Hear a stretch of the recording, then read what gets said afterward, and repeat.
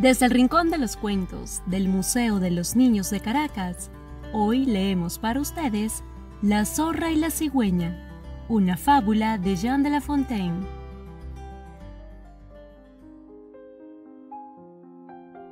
La zorra siempre había comentado ante los demás animales que la cigüeña era muy boba. Le gustaba mofarse de ella y un buen día decidió ir un poco más allá de los insultos y quiso gastarle una broma. La invitó a cenar a su casa y preparó una deliciosa comida que dispuso sobre una mesa bien adornada. Cuando llegó la cigüeña, sintió que el dulce aroma de los alimentos le abría el apetito, pero al sentarse a la mesa, se dio cuenta de que la zorra había puesto toda la comida en platos muy grandes y llanos así que no podía llevarse ni un solo bocado, porque su largo y fino pico le impedía degustar tan ricas viandas. Sin embargo, la cigüeña no protestó. Miró a la zorra, le agradeció la invitación y se fue. Y allí quedó la zorra muerta de la risa. Pocos días después, ambos se volvieron a encontrar cerca del estanque, y en esta ocasión fue la cigüeña la que invitó a cenar a la zorra.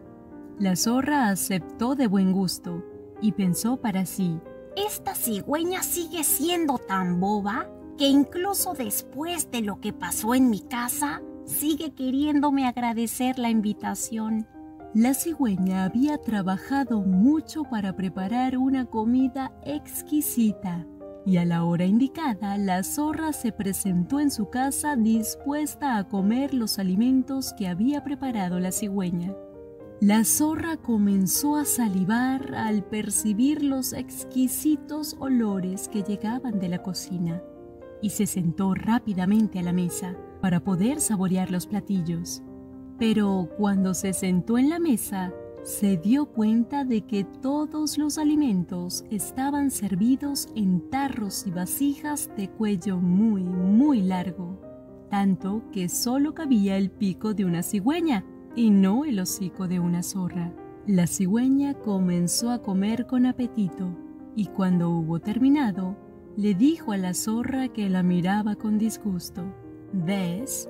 Es una comida tan sabrosa como la que tú preparaste.